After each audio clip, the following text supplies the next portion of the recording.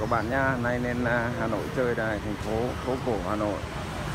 Nhưng mà về hè thì dùng để đỗ xe máy, Không phải là dùng cho người đi bộ. Đây, hai bên vỉa hè. Sao giao thông Việt Nam nó lộn xộn.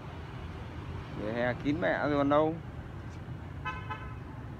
Hà đang mở mẹ nó hết cho vỉa hè này cho dân, người ta đạp xe, có phải là đi xe máy nữa vỉa hè để cho nó dân đi bộ thì lại lại à, để xe máy rồi à, bạt ngàn xe máy bạt ngàn tiền. Mà sao ở phố cổ nó dễ kiếm tiền? Xe máy năm mười nghìn. Một ngày nó thu đây bao tiền? Sợ chưa? Xe máy Việt Nam đẹp nha. Đấy. Thấy chưa? À?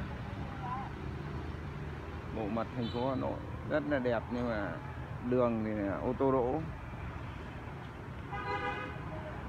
Giao thông thì đường này ô tô đỗ ô tô đi mà sai một phát là bị phạm luật.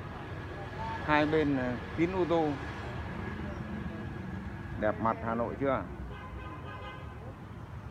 Kín ô tô. À.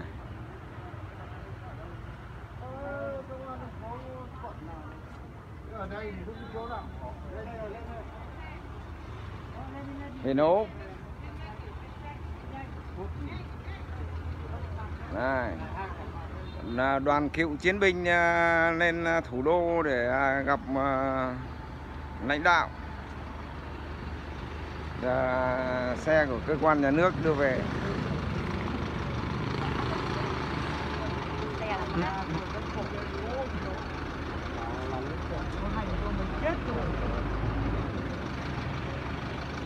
đường này chủ yếu là để cho ô tô đỗ chứ không phải để cho ô tô đi đéo đâu.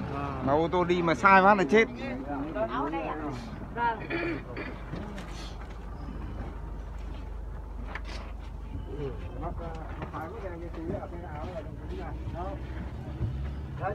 Ủa, bên này ông ạ, có tí về là nắng đấy.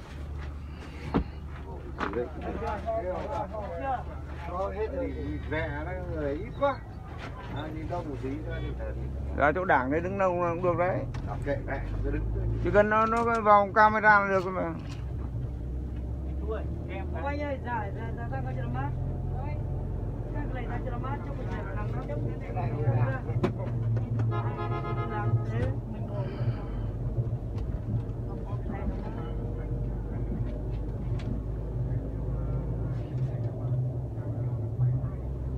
có camera nó quay hết mà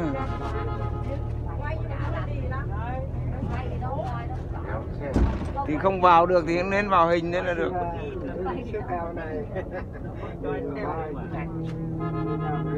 thì đấy mấy thằng bảo vệ nó xem với nhau Thôi chả chả xem. ừ thì đó nó phải sự sản nó dùng tranh đi thế này để để ờ, nhân dân chúng ở đường người ta nhìn chứ cần đấy đường nó vào máy để lại dân nhìn đấy. đấy mới là có quan trọng. Dân người ta nhìn thấy. Thấy toàn thanh trì lên phó tướng cái này là thanh trì chết được cả ngập lụt rồi chân trì bắt ốc là nó rất là khổ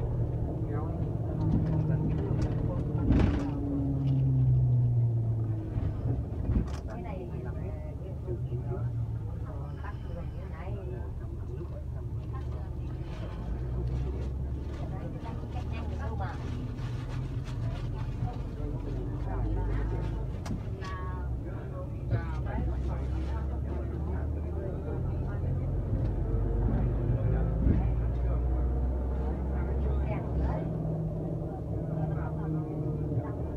có một thằng luật sư thì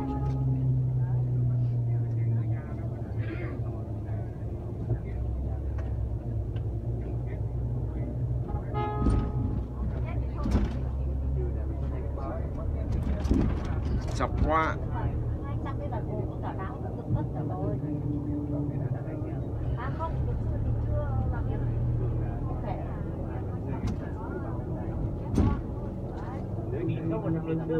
vào thôi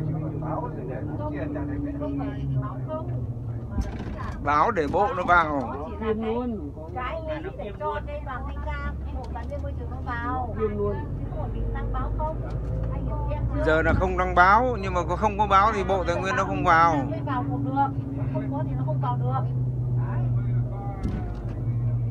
cho Quỳnh bảo người lên không thấy ông lên nhỉ có nhỉ không không không thấy